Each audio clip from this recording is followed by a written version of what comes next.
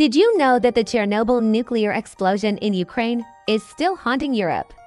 It's been 36 years since the disaster, but the radiation from the explosion is still there.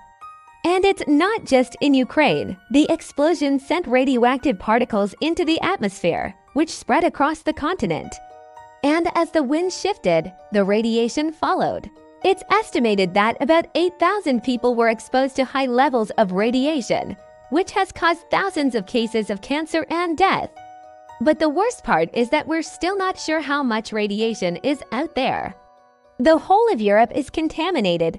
It's just that over time, the levels have dropped to acceptable limits. But here's the thing when it comes to radiation, there is no safe limit. Even low levels can damage your DNA and increase your risk of cancer. So, if you live in Europe, you've probably been exposed to some level of radiation from Chernobyl, and that's why